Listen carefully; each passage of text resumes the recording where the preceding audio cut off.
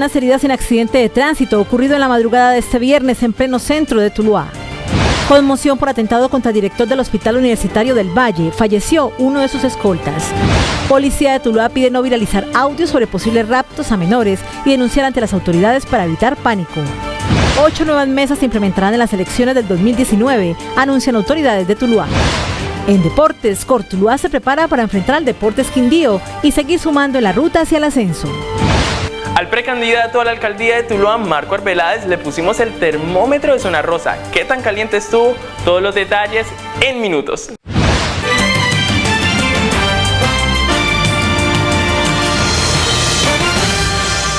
Muy buenas tardes, bienvenidos a CNC Noticias, las noticias que usted quiere ver. A esta hora saludamos a los televidentes que nos ven gracias a Legón Telecomunicaciones y Cable Cauca. No olviden que estamos también en las redes sociales. Aquí están las noticias. Mucha atención que cinco personas resultaron heridas en un aparatoso accidente que se registró en la madrugada de este viernes en la calle 26 con carrera 26 de la ciudad de Tuluá.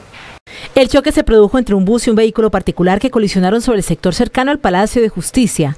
El conductor del bus y cuatro ocupantes del automóvil fueron remitidos a un centro asistencial.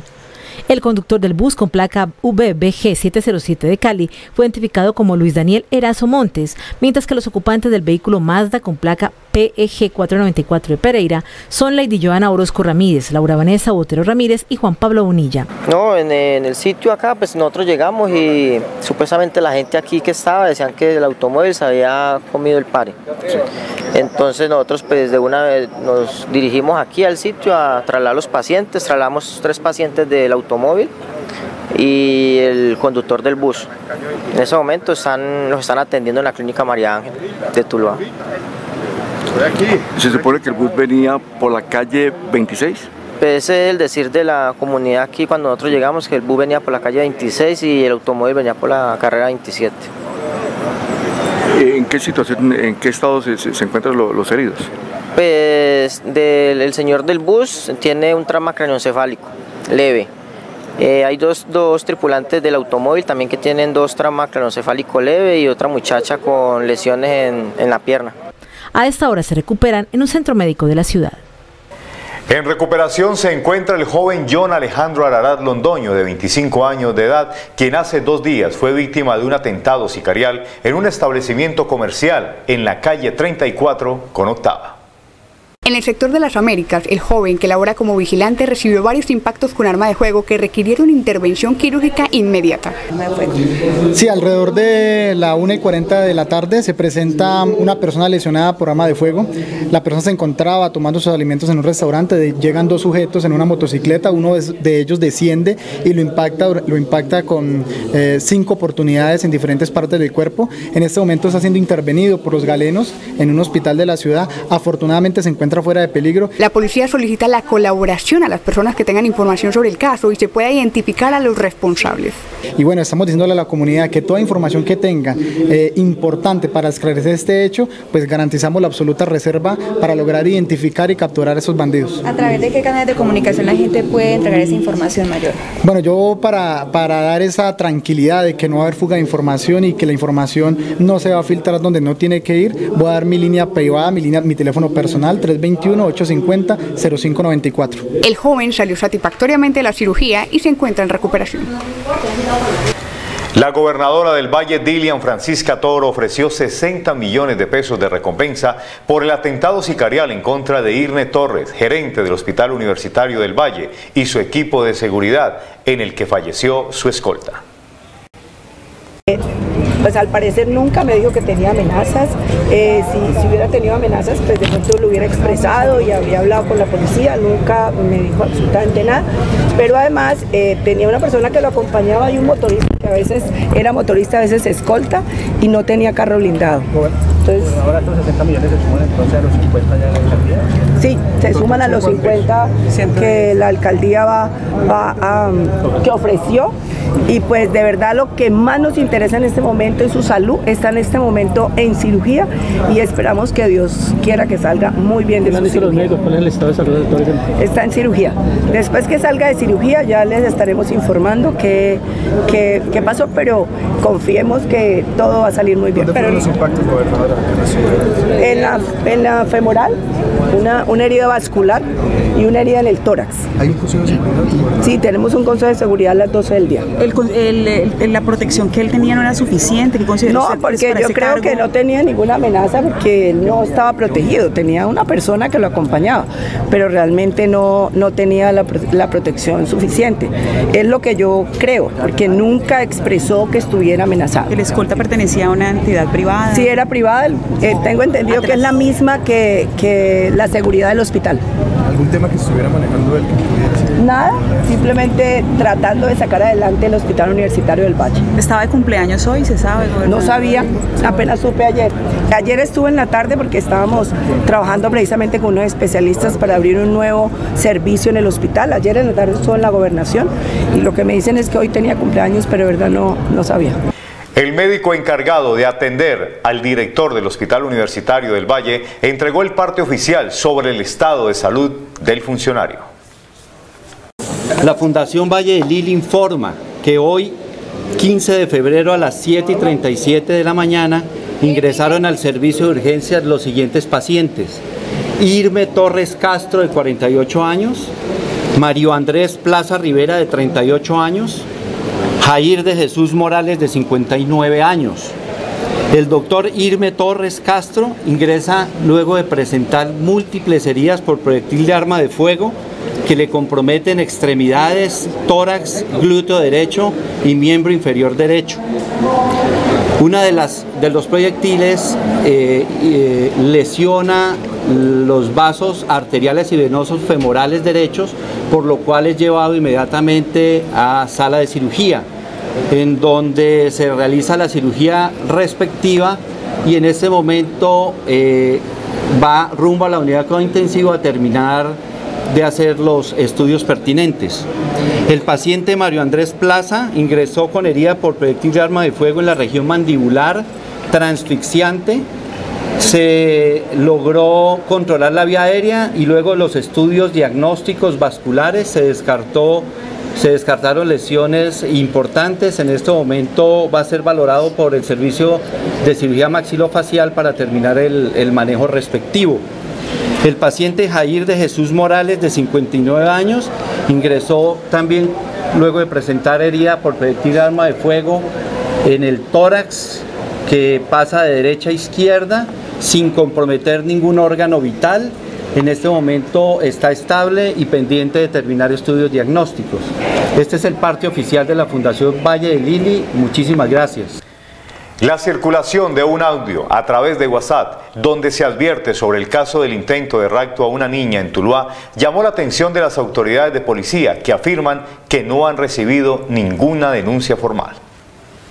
Un audio de WhatsApp se viralizó en las últimas horas en la voz de un hombre que afirma que a una niña la iban a raptar saliendo de su colegio. Sí, efectivamente se presenta un hecho acá en el municipio de Tuluá, donde una señora va con dos niños, uno de tres años y uno un poco más grande, creo que de siete años, y una persona, la cual se transportaba con otro en una motocicleta, trata como de alarle el niño, como trata como de quitárselo de la mano, pero no, hemos logrado establecer si era por hurtar la persona, la mayor de edad, o si efectivamente se quería llevar el niño o si era una persona que quizás quería abusar de alguno de los niños.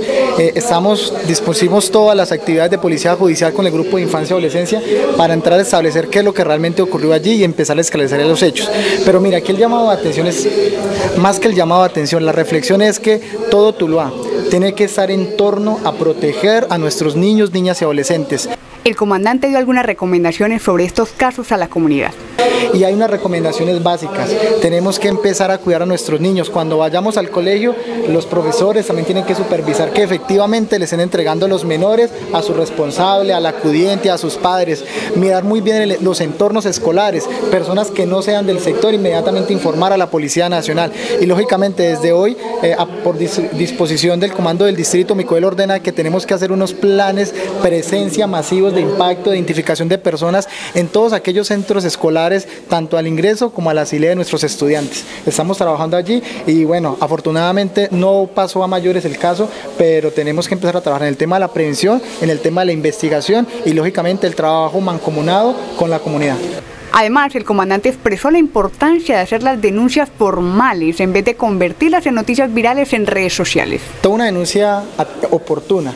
Lastimosamente en unos videos que hemos empezado a recopilar de este hecho, pues no hemos tenido una muy buena imagen de estos videos, pero el video lo tuvimos acceso hoy, pero digamos que la noticia o el hecho se presentó días anteriores. Entonces, antes de volver viral esos videos, que son importantes porque la comunidad se entera, pero hay que primero denunciar para poder empezar, que se active toda la investigación y tener una reacción oportuna. Y segundo, tampoco podemos generar eh, una psicosis o un pánico masivo en todo Tuluá, porque realmente lo que hasta el momento hemos identificado ha sido un solo caso. La policía espera que la comunidad por medio de la denuncia permita que haya una reacción más oportuna a los casos delincuenciales que se presentan en el municipio. Tuluá tiene nuevo comandante de policía, el mayor Héctor Toro quien tiene experiencia en toda la región 7 y espera poder cumplir con su labor en el municipio. El mayor Héctor Toro cuenta con estudios de especialización y posgrado que lo cualifican para el puesto de comandante. Bueno, llevo 15 años en la institución, soy administrador policial, tengo un, eh, un título de especialización en investigación criminal, estoy cursando un posgrado en Derecho, eh, he elaborado los departamentos del Meta, Casanare, Guainía, Baupés, bueno, todo lo que es la región 7, en el departamento del Huila, y llevo laborando en este año, en este departamento aproximadamente un año, inicialmente llegué a Buenaventura, posteriormente estuve en Dagua, y ahora último estuve haciendo un encargo en el Distrito Especial de Cartago.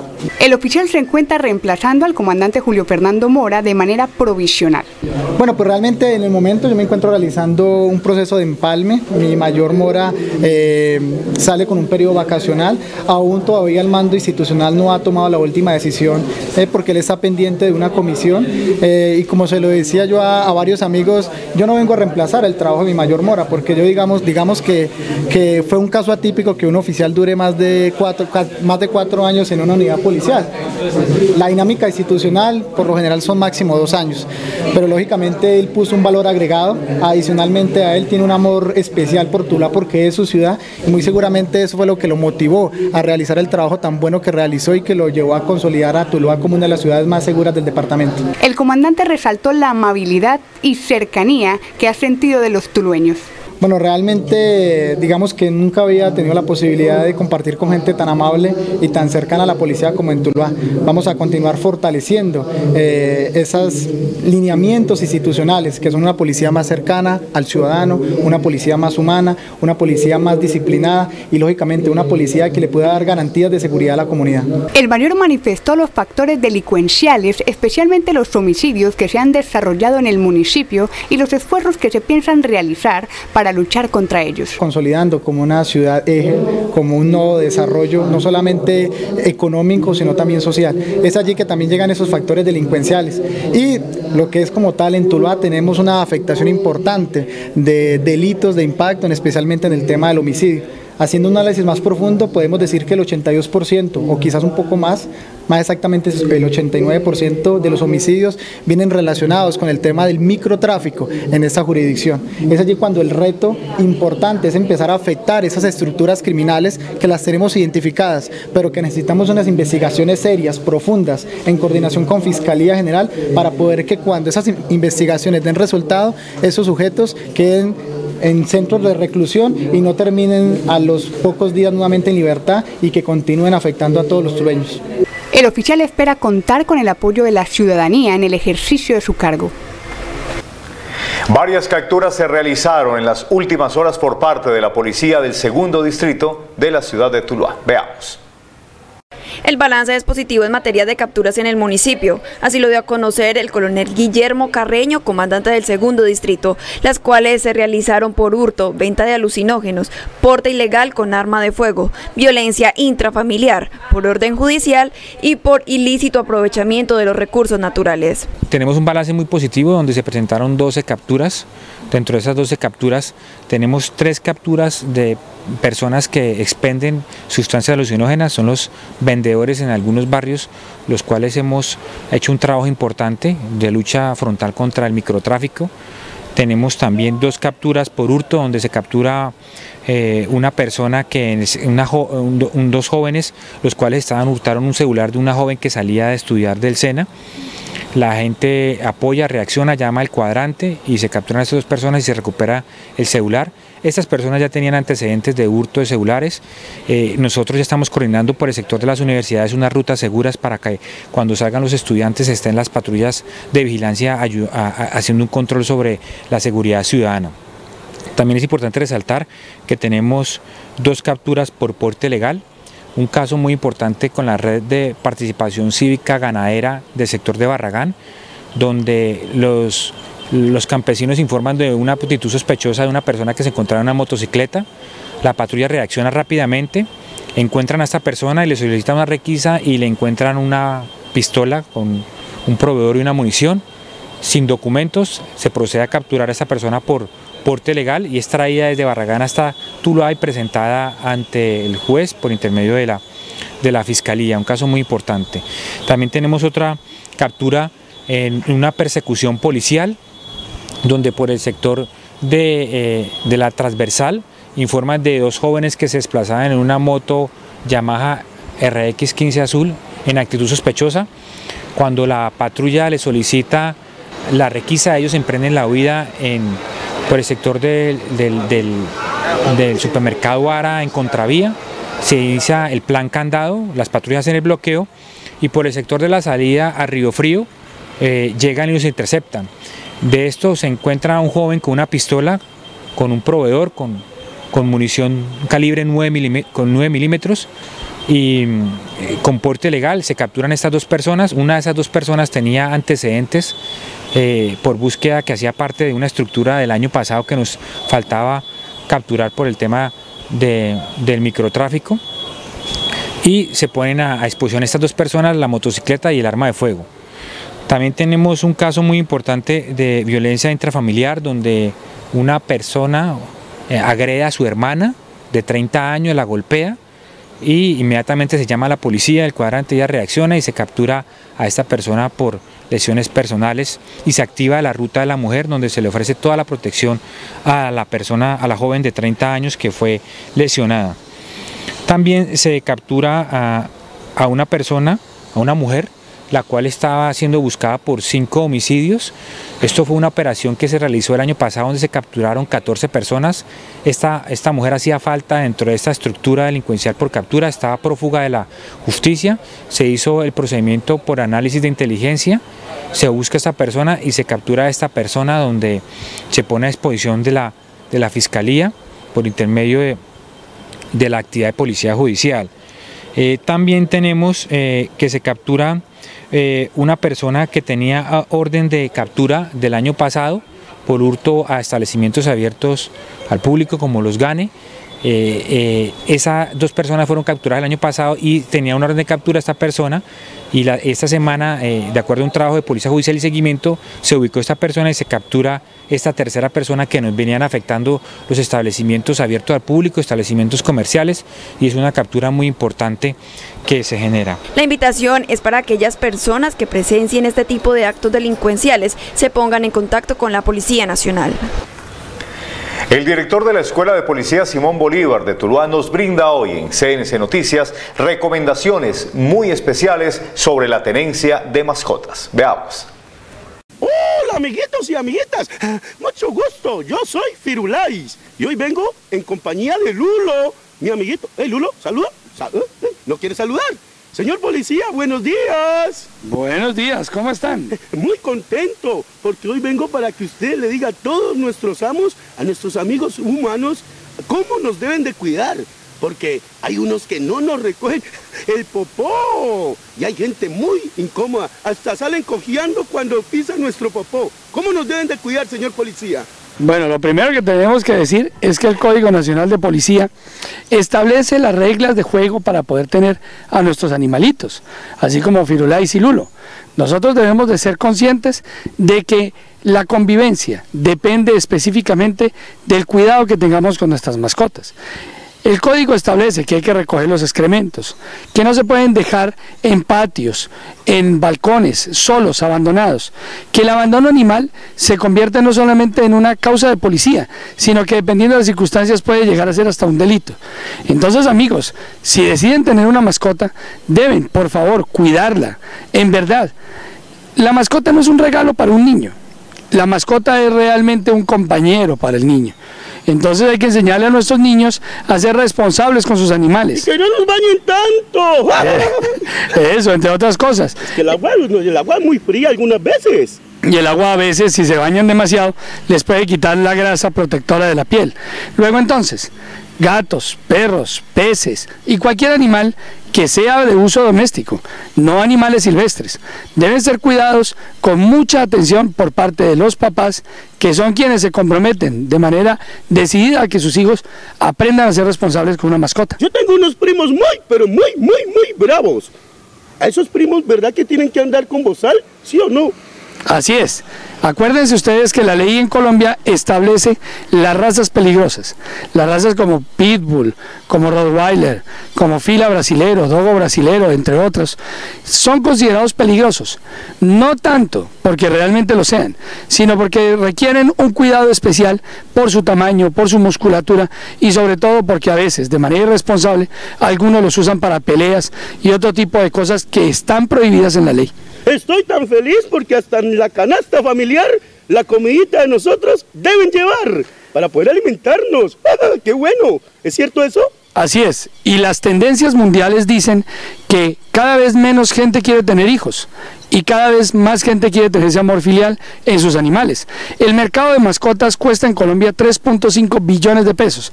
Es una cifra absolutamente considerable en un negocio que crece, pero que debe ser visto con responsabilidad y sobre todo con cariño. Los animales requieren todo nuestro cuidado y atención. ¿Sí o no, Firulais? Claro que sí. Tira la pelotica, tira la pelotica, tira la pelotica. ¿Dónde está la pelotica? Ay, ay, no ha tirado la pelotica. No tengo la pelotica. Muchas gracias por todo lo que están haciendo por nosotros y por darle esos mensajes tan importantes a la comunidad. Pero tira la pelotica, la pelotica, la pelotica. Es hora de que hagamos nuestra primera pausa para comerciales aquí en CNC Noticias y ya regresamos.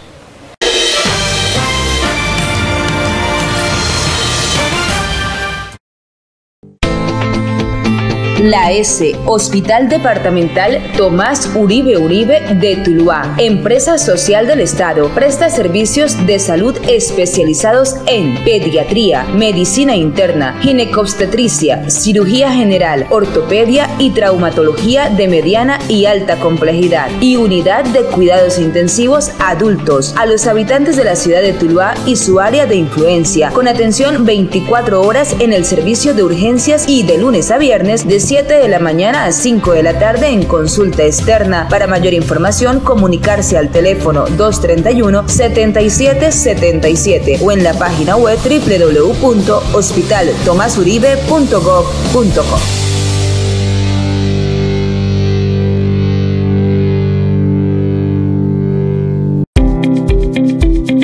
Somos Barrios y Compañía SAS, distribuidores exclusivos de las bebidas refrescantes Bitcola. Entregamos más de 60 millones de litros al año y generamos más de 100 empleos directos en el centro y norte del Valle del Cauca y eje cafetero. Contáctenos en la ciudad de Tuluá, Parque Industrial, Bodega E10 o al correo servicio al cliente arroba barriosicia.com o al teléfono 225 2581. Ahí viene Kate, qué vergüenza. Ay, Andre, todavía con esas gafas remendadas. Vamos para donde los profesionales. En Óptica de Luz contamos con tecnología de punta, de la mano del mejor personal capacitado en alta calidad para el asesoramiento de sus gafas, con el nuevo dispositivo de medición digital iRuler, que realiza mediciones de forma rápida y precisa. Óptica de Luz me encanta y el examen es gratis.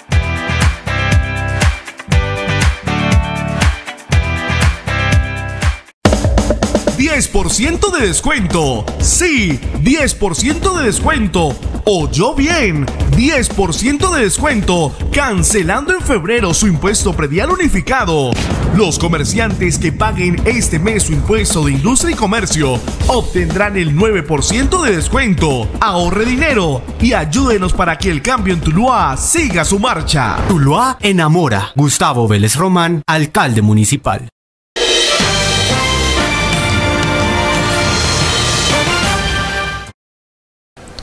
Gracias por preferir CNC Noticias. Ocho nuevas mesas se implementarán en las próximas elecciones 2019. Así lo dio a conocer las autoridades.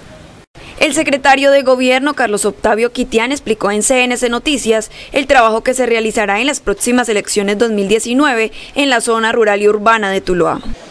El señor alcalde, en cumplimiento del, ordenado en la ley, hace la instalación oficial del Comité de Control y Garantías Electorales que va a desarrollar el proceso precisamente el próximo 27 de octubre, donde se elijan nuevamente las autoridades locales. En lo nuestro, eh, el nuevo alcalde, los nuevos grupos de concejales, de 17 concejales, la Asamblea del Departamento del Valle del Cauca y el gobernador pues, de nuestro departamento. Y en el evento en que se adelanten consultas populares de los partidos, pues eh, esta se desarrollará en el mes de mayo, también estamos ya preparados para que si esto ocurre mm, apoyar todo el tema logístico de manera articulada con la Registraduría Especial del Estado Civil hacer la conducción del proceso. Lo que se pretende es que en esas elecciones la comunidad tulueña pueda ejercer su derecho al voto de una manera tranquila y transparente. Pretendemos hacer unas elecciones libres, transparentes y sobre todo con garantías para los electores para que puedan eh, depositar su voto, expresar su libre voluntad con todas las garantías por parte del Estado. Hoy nuevamente ratificamos que los puestos de votación que tenemos ubicados en el sector urbano y en la geografía rural hoy tienen todas las garantías por parte de la institucionalidad en, tema, en materia de orden público para que como nunca en la historia de Tuluá se desarrollen unas eh, elecciones libres, sin ningún constreñimiento de grupos al margen de la ley o de personas que quieran aprovechar un tema de orden público. Hoy igualmente hemos dispuesto y seguramente se va a conocer en los próximos días la ubicación de, nuevos, de ocho nuevos puestos electorales que le va a permitir en el casco urbano, por el crecimiento y por mayor comodidad de ciudadanos poder acceder fácilmente a, a depositar su voto. Igualmente, Hoy toda la institucionalidad la fuerza pública, la Policía Nacional, el Ejército Nacional, el CTI, la Fiscalía General de la Nación, la parte administrativa desarrollaron un comité de la mano con la Registraduría Especial del Estado Civil para nuevamente ratificar el apoyo el incondicional respaldo que va a tener de parte de la administración eh, el proceso electoral y que esperamos eh, se pueda cumplir en nuestro municipio de manera transparente, como siempre lo hemos hecho en las cuatro o cinco contiendas electorales que han, se han realizado en este, en este gobierno. En los próximos días se dará a conocer las ocho o nueve mesas electorales con las cuales contarán los tulueños. Crecimiento para mi negocio es el resultado de hacer las cosas bien. Empieza el año con pie derecho, renovando por internet tu matrícula mercantil Hazlo fácil, rápido y seguro en www.camaratulua.org. Fecha límite 31 de marzo.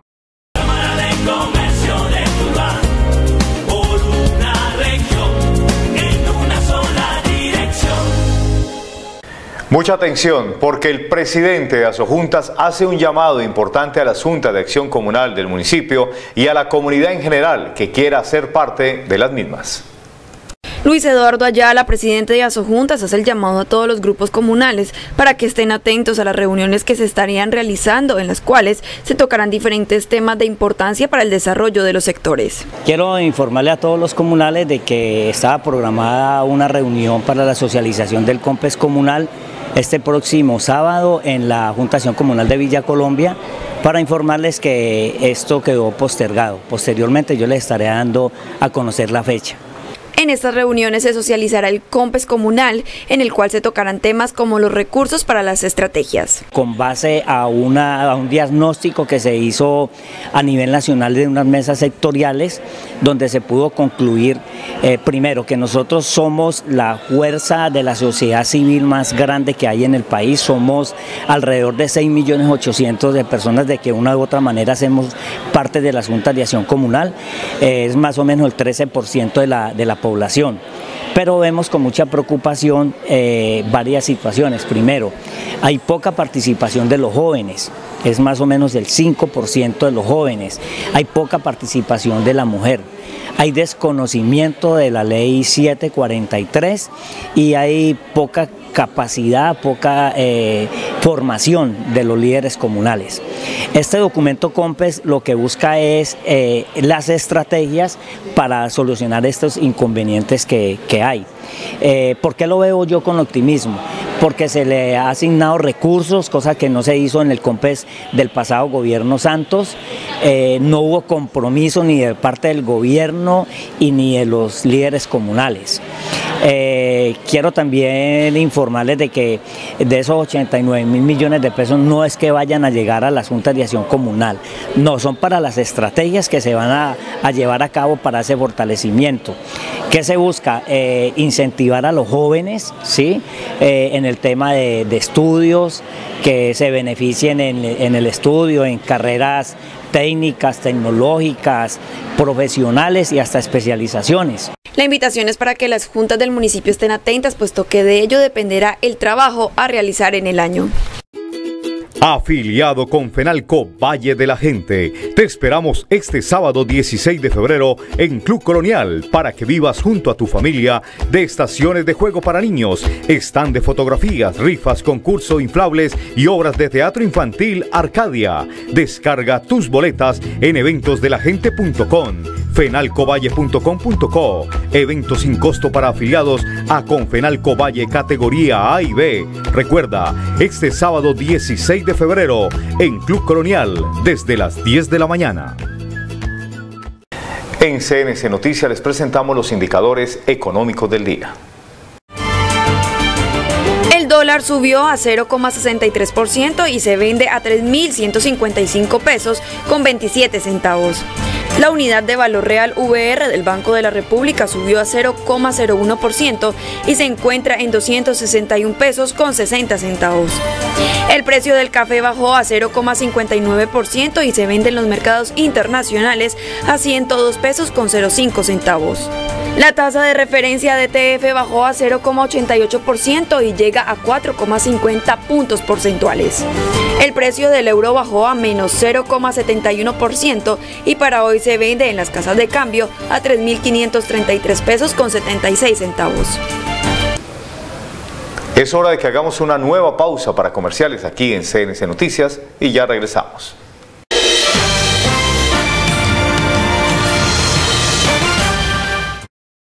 En Materiales y Pintura La 30 Esquina siempre innovamos con nuestros productos. Ven, renueva tu casa en Navidad y Año Nuevo con la calidad de materiales y pinturas La 30 Esquina. También tenemos pintura para la industria automotriz, arquitectónica, vinilos, lacas, esmaltes, poliéster y poliuretano. Visítanos en la carrera 30 2060, celular 316-629-3708, teléfono 224-5510, materiales y pinturas La 30 Esquina. Majaba, Kifa, Baisanos, majitos queridos. Hoy no voy a hablar de arroz. Voy a invitar a los amigos que han viajado conmigo a San Andrés, México o Cancún. Esta vez los voy a invitar a mi país, país bello, maravilloso en historia y religión. Turquía, oh, qué lindo. Consulta mis planes llamando a mi Lulular al 315-536-8151. Y todo esto porque usted ya sabe quién soy yo.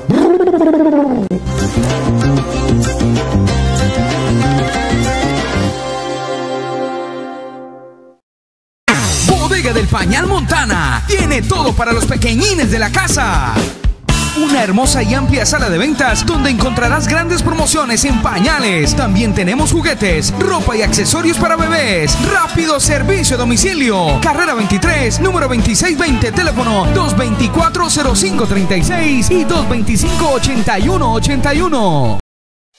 Entre los verdes cañaduzales del Valle del Cauca emerge la mejor empresa panelera del país. Panela El Trébol, producto colombiano con sello de calidad y con TEC. Bebida natural, que no le falte en sus hogares. Panela El Trébol, energía para toda la vida.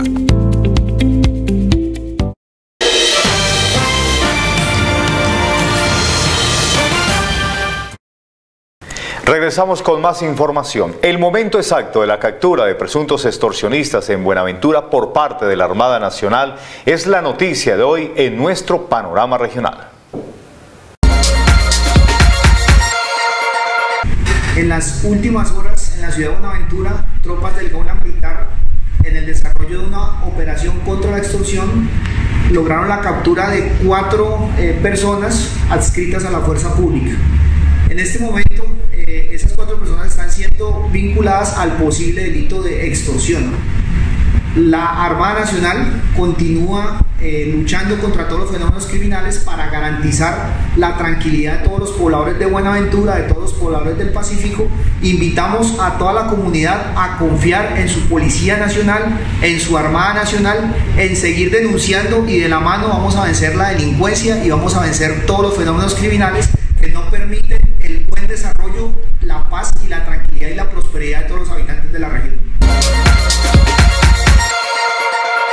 Diviértete junto a tu familia en el Club Colonial de Confenalco Valle de la Gente este viernes 22 de febrero desde las 5 de la tarde en la fiesta nocturna temática. Podrás disfrutar de villa y en vivo, juegos de mesa, concursos, hora loca y mucho más. Eventos sin costo para afiliados categoría A y B. Descarga ya tus boletas en eventosdelagente.confenalcovalle.com.co. ¡Te esperamos!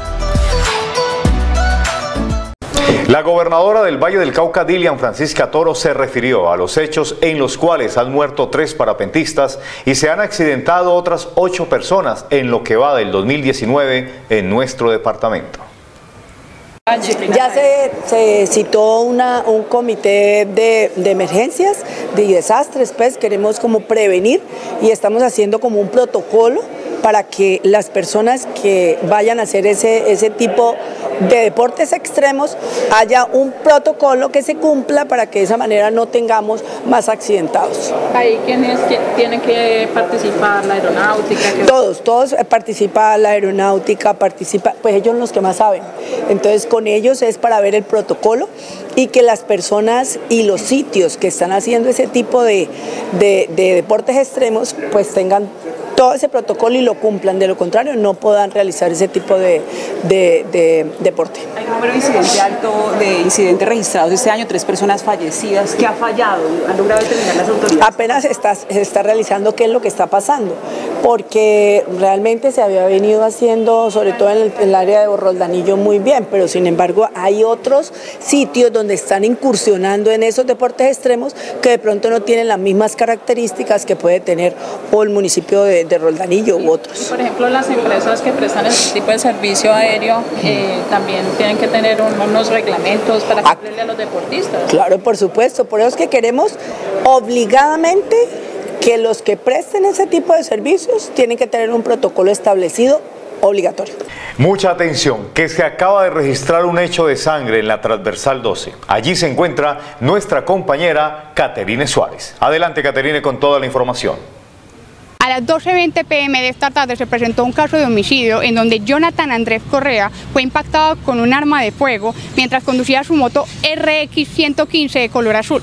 La policía en este momento ha acordonado el área, están haciendo las respectivas investigaciones para saber si hubo un motivo, si tuvo una amenaza, por eso están hablando ahora en el área con los familiares y se espera que más adelante se tenga más información sobre este hecho.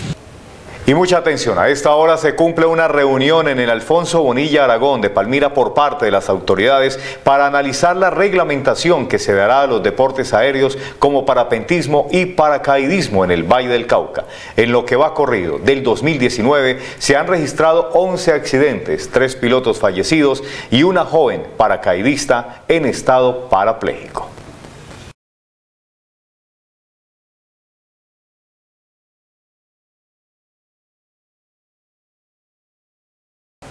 Es hora de que hagamos una nueva pausa para comerciales, pero al regreso le tendremos la más completa información deportiva. Ya regresamos.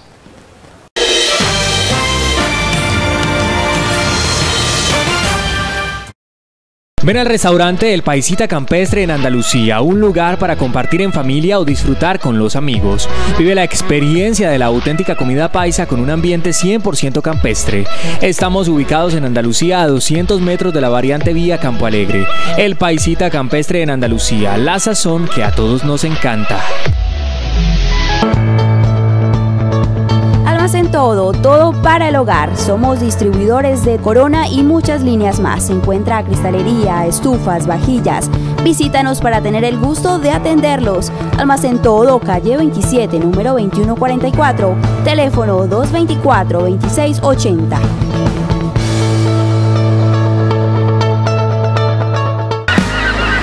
Ah, pensaron que no me consigo para San Andrés, se jodieron. Me voy.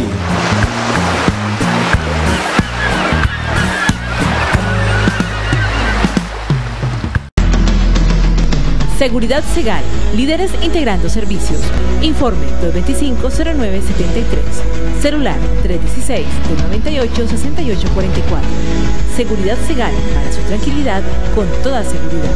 Toda una organización a su servicio.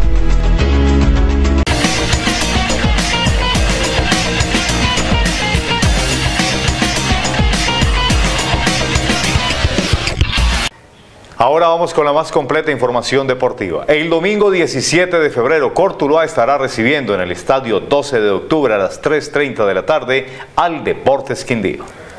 Así es, JJ, nos encontramos desde la sede de Tres Esquinas, la sede deportiva de la Corporación Club Deportivo Tuluá, para enfrentar el partido entre el Deportes Quindío el día 17 de febrero en el estadio 12 de octubre a las 3 y 30 de la tarde.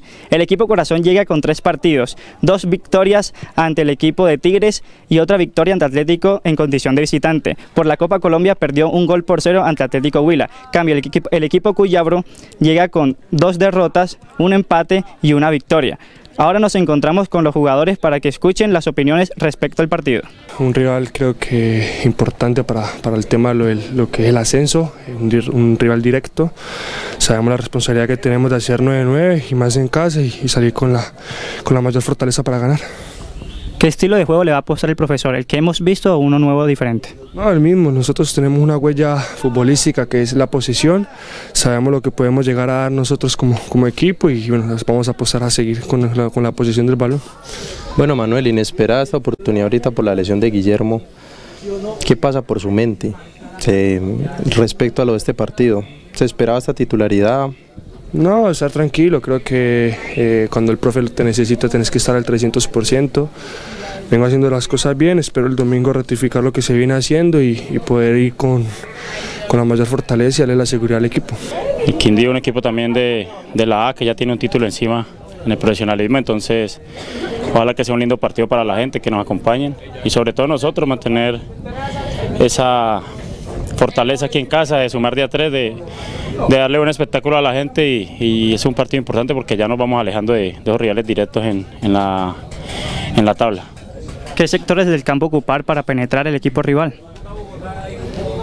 Hay que estudiarlo, es un equipo que todo viene de ganar un partido en casa 4 a 1, empatar en Tunja, o sea que es un equipo que, está bien armado, que no va a ser fácil, va a un partido muy disputado, pero nosotros en la mitad de la cancha tenemos que imponer nuestro fútbol. Yo creo que de ahí va a ser importante que, Juan Camilo, Mayer y mi persona eh, nos adueñemos del balón y, y tenemos a Chirri que está en un gran nivel, a Herrera al que el profe ponga por el otro costado y, los laterales que están sumando bien. Entonces tenemos muchas variantes ofensivas y no descuidar nuestro arco porque pues sabemos que hay un equipo rápido en la contra.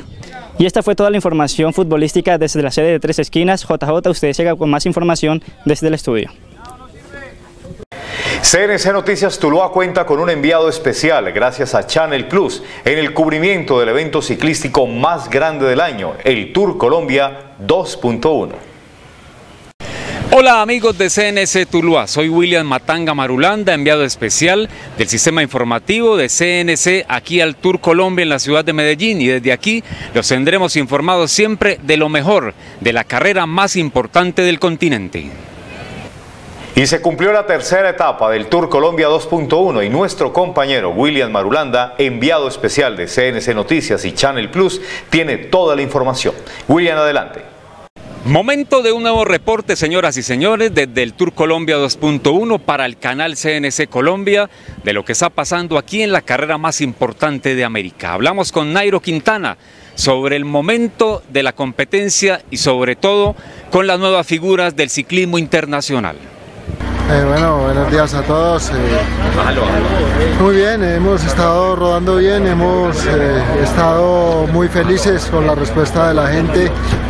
Eh, han salido a, vernos aquí en la carretera y es lo más importante cuando hay un espectáculo de estos, pues que haya gente también. No, bien, eh, hemos estado trabajando para, para que cada vez haya más muchachos en el World Tour y cada día los hemos visto este es un gran escenario para que muchos jóvenes sigan mostrando y sigan siendo captados por todos estos equipos. Un corredor que había buscado ganar etapa en la Oro y Paz hace un año en el departamento del Valle del Cauca, lo consiguió por fin aquí en el Tour Colombia 2.1. El paipano Juan Sebastián Molano ganó en Llano Grande. Sí, bueno, buenas tardes para todos, un saludo muy especial. Eh, agradecido primero que todo con mi equipo. Eh, hicieron un trabajo espectacular, un saludo para, para cada uno de ellos. Hoy salimos con, con un objetivo eh, igual que el de ayer, pero con diferente persona, ¿no? Hoy me dieron la oportunidad y tenía que aprovecharla al máximo. Sí, bueno, primera etapa con, con mi equipo Team Emirates, UAE Team Emirates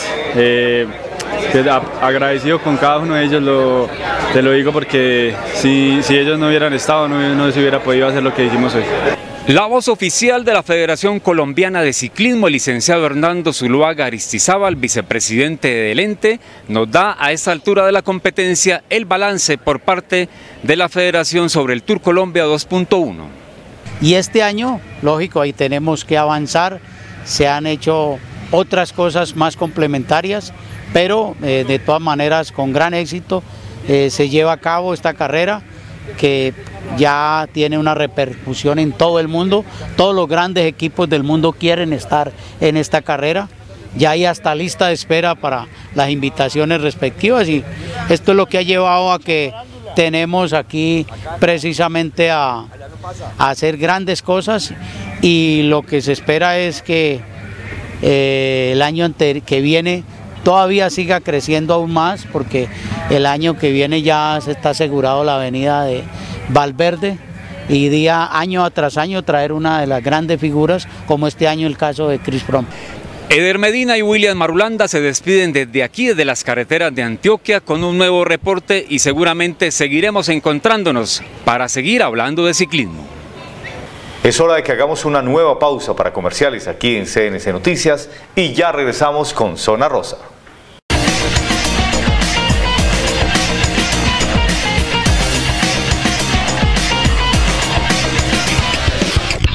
Terminal de Vidrios y Aluminios es una empresa tulueña con 35 años de experiencia, mejorando y embelleciendo las fachadas e interiores de casas, oficinas, fincas. Somos distribuidores mayoristas de aluminio, vidrio, policarbonato, acrílico, PVC y accesorios. En nuestro amplio portafolio encontrarás cielos falsos como el PVC y copor, estructuras en policarbonato alveolar, fachadas y divisiones en vidrio de seguridad. Invitamos a los vidrieros, aluminieros, arquitectos, ingenieros y maestros de obras a que nos visiten en la calle 27, número 18A10 en Tuluá Valle.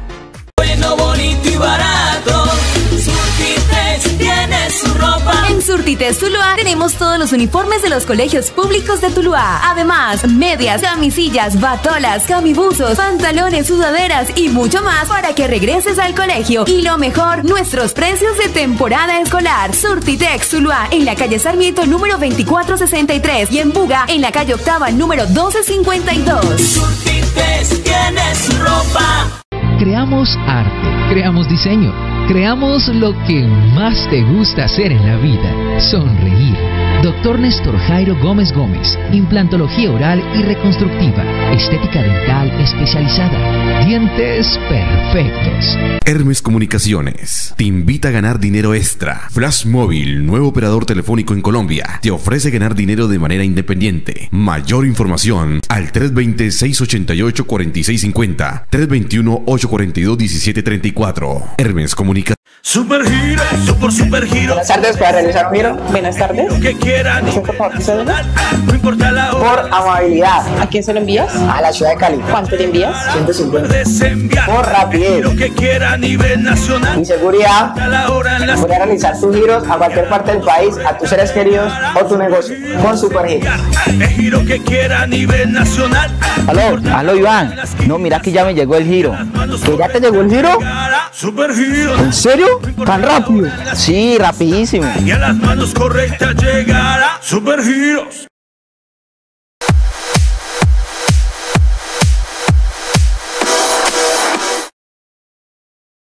Bienvenidos a Zona Rosa, hoy es viernes y por supuesto el cuerpo lo sabe. Vamos con toda la información del entretenimiento vallecaucano. La Policía Nacional se comunica a través de códigos y señales, pero ¿y qué significan? Acá en el canal de nuestra gente consultamos los expertos para que nos hablaran de la jerga policial. Las Fuerzas Armadas de Colombia son expertas para comunicarse entre señales y códigos, pero ¿y qué significan? Zona Rosa se desplazó hasta el segundo distrito de policías de Tuluá y a los uniformados les hicimos un quiz. Empecemos. ¿Qué es switche? Switch es un subteniente. Switch significa un teniente cuando está recién salido de la escuela. Eso es un, un- como una manera de decirle a un oficial, un nuevo, es un grado que ellos empiezan como subteniente, entonces es un, un- una jerga de nosotros. Eh, mal interpretado y mal dicho a un señor subteniente. ¿Y mano yankee? Mano Yankee es el grado que le dicen al, al mayor cuando es la jerga que se le dice a un mayor en vez de mayor. Eh, mano yankee a mi mayor mora. Mano yankee, no, la verdad no. Mayor, comandante de estación de policía de Tuluá prácticamente. Apoyo aéreo. El apoyo aéreo es que está lloviendo o cuando hay una incursión terrorista, uno dice que viene apoyo aéreo, es un helicóptero que viene a apoyarlo en la parte técnica y, pa- y- y aérea. Apoyo aéreo es cuando cae lluvia. Es cuando uno está en la calle patrullando y llueve. Lo de la lluvia, la lluvia, eh, apoyo aéreo, sí, es cuando llueve. ¿Y cuando decimos armonio? Armonio es el arma de fuego con la cual salen a servicio. Eh, armonio, armamento. Armonio es el armamento que uno carga. Ese armonio es el armamento. Cuando uno va allá reclama armonio, es armamento de dotación. Curso. Curso el compañero de uno que ingresó a la escuela de educación el mismo día, entonces son cursos porque comenzaron el mismo día a estudiar. Es un funcionario que eh, inició con uno en la escuela de formación. Curso es los que uno hace curso junto en la escuela, o sea, los que uno entra, entra a la escuela el primer día y salen y terminan el curso juntos. Es con el compañero que en algún momento hicimos algún, algún curso, valga la redundancia, eh, de, de patrullero o algún curso técnico. Curso es un compañero de, de escuela que hicieron curso juntos, ¿no? Efectivamente. ¿Quiénes son los primos? Los primos son los del ejército o de la Fuerza Aérea Armada, los cuales trabajan y hacen la misma actividad de nosotros. Eh, primo es el ejército. Los primos son los compañeros del ERCOL, del ejército. Los primos son los compañeros del ERCOL, ejército. Panel. Es el documento cual tienen de pasar revista en las patrullas de vigilancia. Eh, panel es una, un panel de abejas. Paneles son las, los carros donde la policía moviliza. Panel, aquí un vehículo de la policía. ¿Y qué es eso de 18? Es cuando uno le dice a una patrulla que llegue a un sitio donde uno se encuentra o que llegue en algún sitio determinado. Eh, 18 es un 1 con un 8. 18 es cuando usted le dice, por ejemplo, al compañero, hágame 18 a algún lado, o sea, que, que le llegue a donde usted está. 5 de 18 es llegue al, al 20, al sitio donde estamos. Que tiene que llegar inmediatamente. Hacer 38. Eh, 38 es llegar aquí inmediatamente. Vamos a hacer una ronda alrededor de algún sitio. Ganchos. Es colocar las restricciones. Los ganchos son la- las esposas. Gancho, eh, para mí sería echémosle los ganchos entonces. El gancho es las esposas. Darle indumil. Eh, mm, darle indumil. Eh, no paso, no, no tengo ni idea. Darle indumil es cuando sicarian a alguien por ahí en la calle. Darle indumil. Uy, no, ese no. 30%. Eh, la mujer eh, que la esposa de uno, con la que uno tiene el 30% del sueldo, que a uno le pagan el 30% por estar casado, 30%. Es la señora, la esposa. Tampoco. es la señora esposa, obviamente. ¿Y el 15%? Es el 15% de sueldo que uno destina para las mujeres que tiene por fuera del hogar. Eh, la amiga. ¿Sí? ah, pues ese mm, es de lo de. Eh, pues de, la pareja, entonces sí. 15%, o sea que no es la mujer, sino que es la moza. Cumplir misión. Es almorzar, a lo que todos nos gusta, ¿no? Almorzar. Cumplir misión es cuando usted está trabajando y se retira a almorzar o a cenar. Es cuando uno mm, se retira a, almorzar o a desayunar o a comer. Vamos a llegar a cumplir misión, a comer. Qué manejo de códigos tan impresionante. Mejor vamos a cumplir misión y ustedes televidentes, mucho cuidado los pillan en la calle mal parqueados con su 15%. La Fundación Creeré en Ti organiza para este 17 de febrero la Facebook Ton, evento que se organiza con el fin de ayudar a esos jóvenes con problemas de drogadicción. Este domingo 17 de febrero la Fundación Creeré en Ti realiza la Facebook Ton. Con este Facebook Ton buscamos en recaudar fondos para ayudar a personas que no tienen familia, que están en las calles, así como estamos ayudando a, Chiva. Entonces es para eso, para recaudar fondos, porque pues nosotros no contamos con, con el apoyo pues de, de así de empresas ni nada de eso, entonces básicamente es eso, para recoger a muchachos de, de la calle, especialmente pues de acá de Tuluá. La Fundación Creeré en Ti apoya a jóvenes en su proceso para alejarlos de la drogadicción. Esta entidad cuenta con psicólogo, trabajador social y espacios verdes disponibles para los pacientes. Diferentes artistas del corazón del valle apoyan la Facebook un evento que se llama el Facebookton, ahí es la Fundación Creeré en Ti, eh, donde cada persona puede ir a dar una donación de cualquier cosa, puede ser ropa, útiles de aseo, dinero, cualquier cosa. Si tiene un pedazo de panela, llévelo, una libra de arroz, llévelo. El evento es totalmente gratis, va a haber muchos artistas. Artistas como John García, Kofla, Mario, Cosmic, Julián el Cómico, La Cangri, Lady González, todos unidos en esta ocasión en pro de juntar recursos para estos jóvenes que buscan recuperarse. Es, creado por, por, el dueño de la fundación, eh, más que todo es para la, para la ayuda, para que la gente tenga más conciencia y pues para que le colaboren a todos estos jóvenes que, que hace mucho tiempo pues estuvieron en las calles y pues ahora ellos se quieren dar la oportunidad y, pues hemos estado haciendo este, este evento, vamos a hacerlo realidad para que, para que la gente colabore y, pues tenga, eh, se ponga la mano en el corazón y, y vea más hacia estos jóvenes que, que se han estado perdiendo. Todos los vallecaucanos están cordialmente invitados a sumarse a esta noble causa y demostrar una vez más por qué los colombianos somos los más solidarios. Oye, tú quieres un marido nuevo y una mujer nueva, quiero un culito nuevo. Hola, ¿qué tal amigos? Los saluda Junior Jen el Caballo y quiero invitarlos a que se unan a la Facebook Ton este domingo 17 de febrero. Ahí la corporación cree en ti con el apoyo especial de mi pana, mi hermano, mi amigo Coque el aparato. Te lo dice Junior Jen el Caballo. Un saludo muy especial ahí para Chiva. Ahora no vayan a escandalizarse. Quiero un culito nuevo. Hola, ¿qué tal amigos? Yo soy Lady González. Les quiero hacer una invitación este domingo, 17 de febrero, para que se unan a Facebook Tom, con el apoyo muy especial de Coqui el aparato. Y claro, un saludito para Chiva. Allá los espero.